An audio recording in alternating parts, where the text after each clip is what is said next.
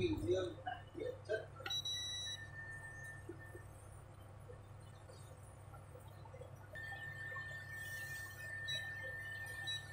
Anh là người cực công